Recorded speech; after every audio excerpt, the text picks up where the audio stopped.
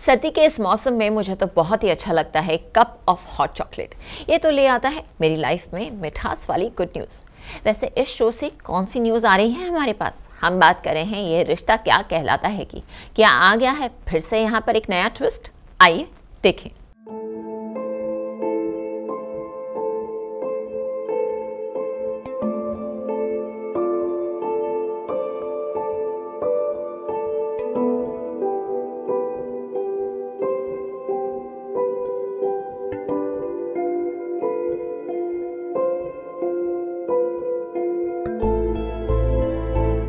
बेटे हुए इमोशनल।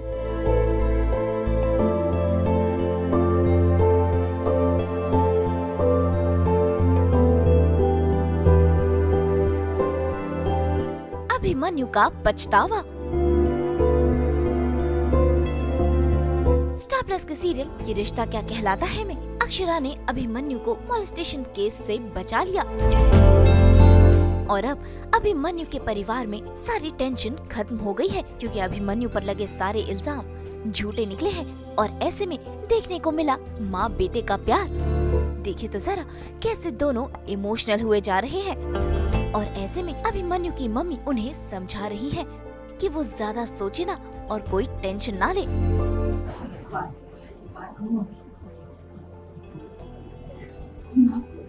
किसी और के भी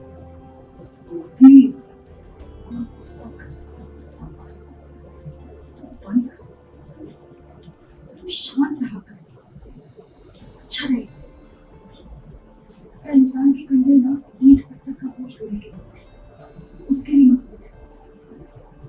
तो अगर रिश्तों का टूटना उसे आगे बढ़ने की कोशिश पर गुस्सा ये तीनों का बोझ नहीं हो सकता।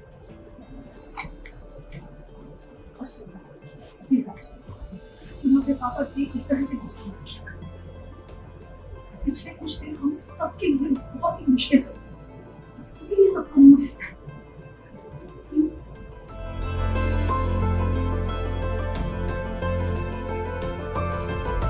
वैसे कहीं न कहीं अभिमन्यु को पछतावा भी हो रहा है, क्योंकि उसने अक्षरा का दिल जो तोड़ा है, अक्षरा ने जो अभिमन्यु के लिए किया, उसके बाद अभिमन्यु का अक्षरा के लिए प्यार और भी ज़्यादा बढ़ गया है। लेकिन चाहकर भी दोनों एक नहीं हो पा रहे। और यही बात अभिमन्यु को खाई जा रही है। ऐसे में अभिमन्यु के दर्द का सहारा बनती है। अभिमन्यु की मम्मी।